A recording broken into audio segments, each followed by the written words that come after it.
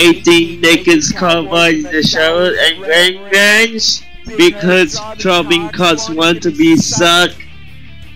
18 niggas by, wanted to be fucked. Cowboys in the showers like wearing on the knees wanted to suck cowboy cuts. Wearing ranch really rocks.